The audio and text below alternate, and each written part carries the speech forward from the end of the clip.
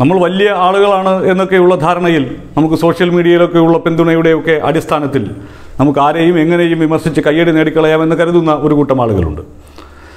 അത്തരത്തിൽ മുഖ്യമന്ത്രി പിണറായി വിജയനുമായി ബന്ധപ്പെട്ട കോവിഡ് പ്രോട്ടോകോൾ ലംഘനത്തിന്റെ ആ കുത്തിത്തിരിപ്പ് വാർത്തകൾ വന്നപ്പോൾ ഞാനായിരുന്നു ഈ ഇത്തരത്തിലൊരു പ്രോട്ടോകോൾ ലംഘനം നടത്തിയിരുന്നെങ്കിൽ നിങ്ങളെല്ലാവരും കൂടി എന്റെ വീടടിച്ച് തകർക്കുക തകർക്ക്- തകർക്കുമായിരുന്നില്ലേ സഖാക്കളെ എന്ന് ചോദിച്ചുകൊണ്ട് വട്ടിയൂർക്കാവിലെ യു ഡി എഫ് സ്ഥാനാർത്ഥിയായിരുന്ന യൂത്ത് കോൺഗ്രസിന്റെ നേതാവ് വീണ എസ് നായർ രംഗത്ത് വന്നിരുന്നു. അതിന് വലിയ സ്വീകാര്യത കിട്ടി. നമ്മുടെ ഒരു കൂട്ടം മാധ്യമങ്ങളൊക്കെ ആ വാർത്ത വളരെ ആവേശത്തോടു കൂടി ഇങ്ങനെ നിങ്ങൾ എന്റെ വീടടിച്ച് തകർക്കുമായിരുന്നില്ലേ എന്നൊക്കെ ചോദിച്ച് വീണ എസ് നായരുടെ ആ കമന്റിനെ വലിയ ആവേശപൂർവം പ്രചരിപ്പിക്കുന്നതിന് വേണ്ടിയിട്ടുള്ള ശ്രമം നടത്തി.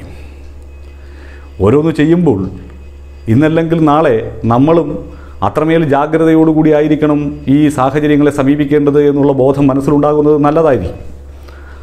അങ്ങനെയുള്ള ആ ചിന്ത ഈ വീണായസ് നായർക്ക് നഷ്ടപ്പെട്ടു എന്ന് ബോധ്യപ്പെട്ടത് ഫേസ്ബുക്കിലെ ചില ചിത്രങ്ങൾ കണ്ടപ്പോഴാണ്. അവരുടെ സഹോദരന്റെ കല്യാണമായിരുന്നു. വീണായസ് നായരുടെ ഫേസ്ബുക്ക് പ്രൊഫൈലിൽ സഹോദരനും വധുവും ഒക്കെ നിൽക്കുന്ന ഒരു ചിത്രമുണ്ട്. ആ ചിത്രത്തിൽ ഫോട്ടോഗ്രാഫർ പറഞ്ഞതുകൊണ്ട് ഒരു നിമിഷം ഞാൻ മാസ്ക് മാറ്റിയതാണ് എന്ന് വീണ ആദർശശുദ്ധിയോടുകൂടി ഈ ലോകത്തോട് പറയുന്നുണ്ട്. അങ്ങനെ അത് ശരിയാണ് എന്ന് കരുതി. പക്ഷേ ഈ വിനായസ് നായരുടെ സുഹൃത്തുക്കളായിട്ടുള്ള ഒരുപാട് പേർ രാഷ്ട്രീയ പ്രവർത്തകർ തന്നെ. അവരുടെയൊക്കെ ഫേസ്ബുക്ക് പ്രൊഫൈലുകളിൽ പങ്കുവച്ചിരിക്കുന്ന ചിത്രങ്ങൾ കണ്ടപ്പോൾ അക്ഷരാർത്ഥത്തിൽ ഞെട്ടി. മാസ്കുമില്ല സാനിറ്റൈസറുമില്ല കോവിഡ് പ്രോട്ടോക്കോളുമില്ല സാമൂഹിക അകലവുമില്ല.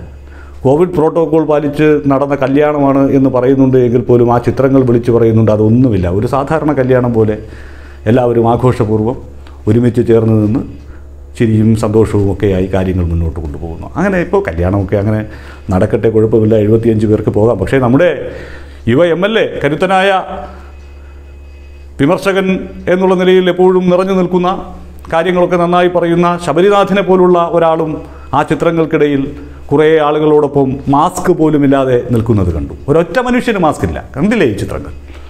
ഒരാൾ പോലും മാസ്ക് ഉപയോഗിച്ചിട്ടില്ല. വീണായസ് നായർ അവരുടെ പ്രൊഫൈലിൽ നമ്മളെയൊക്കെ പറ്റിക്കാൻ അല്ലെങ്കിൽ അവരുടെ ആരാധകരെ പറ്റിക്കാൻ വളരെ കൃത്യമായി ഞാൻ ഫോട്ടോഗ്രാഫർ പറഞ്ഞപ്പോൾ ഒരു നിമിഷം അത് മാറ്റിയതാണ് എന്ന് പറഞ്ഞെങ്കിലും അവരറിയാതെ പകർത്തപ്പെട്ട കുറേ ചിത്രങ്ങൾ.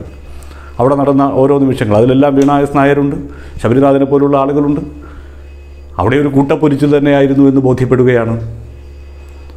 അപ്പോൾ തിരിച്ചാരെങ്കിലും ചോദിച്ചാൽ വീണയ്ക്ക് സങ്കടമാകുമോ എന്നറിയില്ല.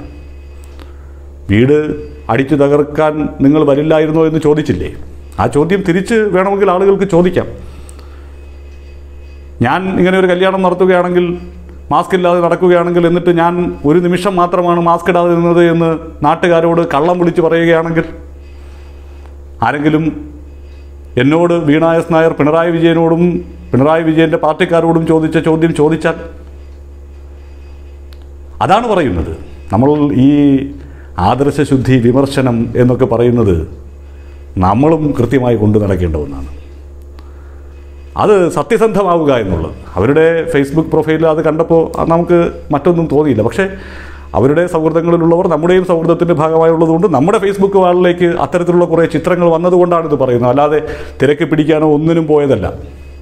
അവരുടെ സൗഹൃദങ്ങളിൽ നിൽക്കുന്ന ആളുകൾ നമ്മുടെയും പൊതു സുഹൃത്തുക്കളായിട്ടുള്ളത് കൊണ്ട് അവരുടെ ചിത്രങ്ങൾ അവരുടെ ഫേസ്ബുക്ക് വാളുകളിൽ നിന്ന് നമ്മളിലേക്ക് നമ്മൾ സർഫ് ചെയ്യുന്ന നേരത്ത് നമുക്ക് കാണാൻ സാധിച്ചതുകൊണ്ട് അത് പറയേണ്ടി വന്നതാണ്. അങ്ങനെ ഒരു എന്താണ് ഒരു വശത്ത് ഞാനെന്തോ ഭയങ്കര സത്യസന്ധയാണ് എന്ന് വരുത്തി തീർക്കാനുള്ള ഒരു നാടകം കളിക്കുകയും മറുവശത്ത് ഇങ്ങനെ ചിത്രങ്ങൾ അതും ഒരു എം എൽ എ പോലും മാസ്ക് പോലും ഉപയോഗിക്കാതെ ആ കല്യാണത്തിൽ പങ്കാളിയാവുകയും ഒക്കെ ചെയ്യുന്നത് ദുഃഖകരമായ കാര്യമാണ്. എന്തായാലും വിണയുടെ സഹോദരനും വധുവിനും വിവാഹ മംഗളാശംസകൾ അതൊക്കെ ഭംഗിയായി നടന്നു എന്നുള്ളതിന്. പക്ഷേ ഈ പറഞ്ഞതുപോലെ നമ്മൾ മറ്റൊരാളെ വിമർശിക്കാൻ ഇറങ്ങിത്തിരിക്കുമ്പോൾ നമ്മളും അതൊക്കെ കുറേ അനുസരിക്കുന്നുണ്ട് നമ്മളും അതിനോടൊക്കെ ചേർന്ന് നിൽക്കുന്നുണ്ട് എന്നുള്ള അത് ഉറപ്പുവരുത്താനുള്ള ഒരു ബാധ്യതയുണ്ട് അത് ചെയ്യുന്നവർക്ക്.